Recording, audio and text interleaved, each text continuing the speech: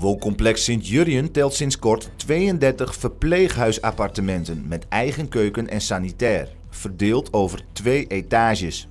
Dit vernieuwde gedeelte van het wooncomplex werd woensdag feestelijk geopend door burgemeester Ron Keunig.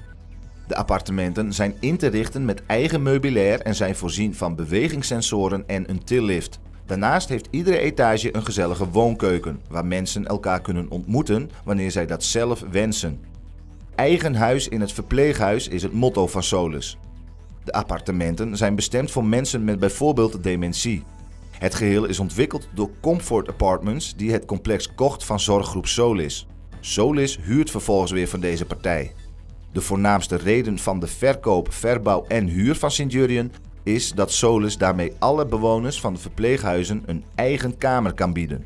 Volgende week meer over deze 32 nieuwe verpleeghuisappartementen.